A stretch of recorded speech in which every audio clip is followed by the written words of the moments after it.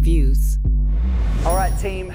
Daisy Dukes shouldn't be reserved for the ladies of the world. Boys, get you some jorts. They may look like cut-off jeans, however, these are actually specially designed for workouts. They are stretchy, they're durable, and they're made by a company called Born Primitive, and they're called WOD shorts. And if you're in CrossFit, you know what a WOD is. It's a workout of the day. Designed for durability and comfortability. I first came across Born Primitive probably about six months ago. Uh, before that, it was me just cutting off pairs of jeans into shorts, but you obviously don't get that stretchability and that durability from these shorts. So pretty stoked to find Born Primitive. They've got a full range of uh, different clothes and workout attire, uh, but these are the best. So it may seem backward to wear a pair of denim shorts when you're working out, but with the stretchiness of this denim, uh, that does give you a bit of support when you're dropping down into squats. I like them because they're just like a pair of jeans. They're full of pockets if I'm carrying uh, my phone, my wallet, uh, any sort of ear, ear pods or anything like that. So um, super fun, super comfy. I rate these shorts over uh, just gen generic running shorts. Like I'm not gonna wear these necessarily running,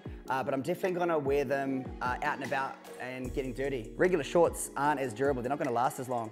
Uh, but the denim on these, although stretchy, super durable.